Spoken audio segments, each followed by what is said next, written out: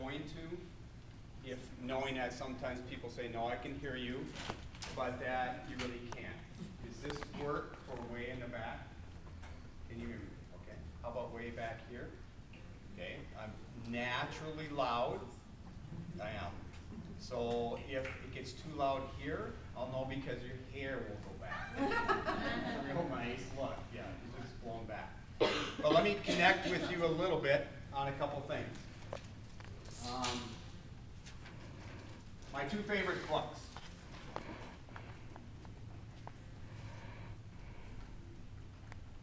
Dr. Seuss, right? Gotta love Dr. Seuss. The Butter Battle book. Any of you seen the Butter Battle book or read? it? How many of you know this?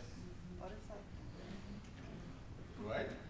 Good. There's only about a third of you.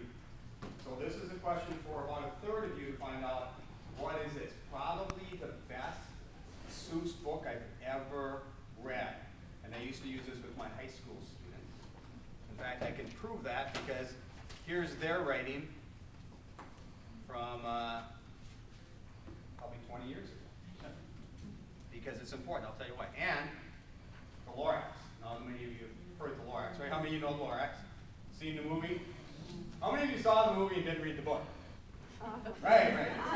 It's good. It's good. And the reason this is kind of the setup for the conversation, keynotes kind of just throw that right out the window. It's not a keynote. You're not going to learn anything. It's more of a, uh, a rigorous conversation. I'll show you the structure I'm going to set up in a second. But the reason I love the Lorax and the Butter Battle book from Dr. Seuss is because they have no what? That's a good story. I love that. There's no ending.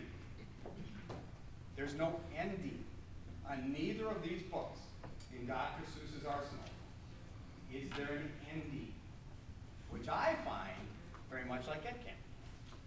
Because this isn't going to be a traditional keynote with a beginning, a middle, and an end. In fact, the conversation of an ed camp might follow much more. Oh, that's right. Sorry. Eid Mubarak, Ramadan Kareem.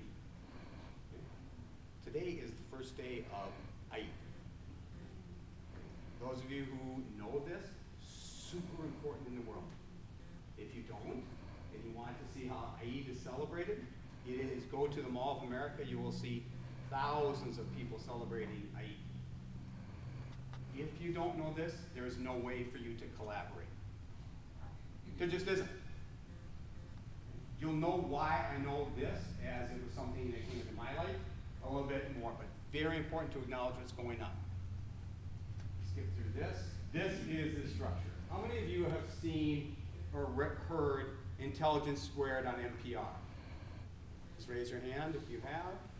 Well, give me an idea. Okay, Intelligence Squared is the Oxford style debate. it's been put into uh, a radio format. Thing to watch, listen to, podcast, because it's a debate format without an ending. Kind of like this idea of what you're going to see with this conversation I'm going to have with you. It's not going to end. It's supposed to be provocative. So, this is the structure I want to put in place for you. If it's not provocative, I haven't done a very good idea, job. If you haven't been ticked off at me at some point in time and said, move it on, I probably haven't done a good job. And if you haven't gone, oh, that's kind of interesting. But it is not going to be from Steve Hoffman. I'm going to throw it back to you a few times in this time that I get so that you can talk amongst yourselves. So here's my first throw back. I find it fascinating to me. Um, stand up if you're a male, please.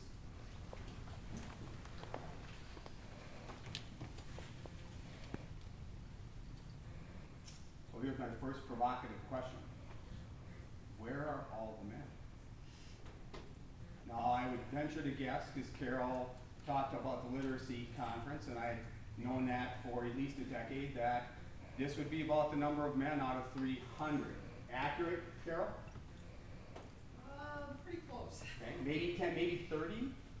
10%? Uh, not that many. Not that many. So here's my first question and I want you to throw it around. If you need to join a group, please do. But I want you to throw it back at us. Where are all the men? You don't have to answer it that way. You can shift it this way. How can we collaborate when we don't have 49% of the population here? And you know the statistics in education. It's becoming more female. More and more female. I looked them up the other day. My wife and I had a disagreement.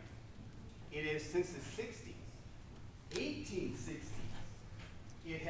female dominated. And I said, no way, I don't, I don't believe that. So we went back to the data. Since the eighteen sixties, it's been female. The last ten years, it's even more. Even more. So, the question is, provocative, how come the men aren't here? Okay, dive in, have a conversation for a couple minutes.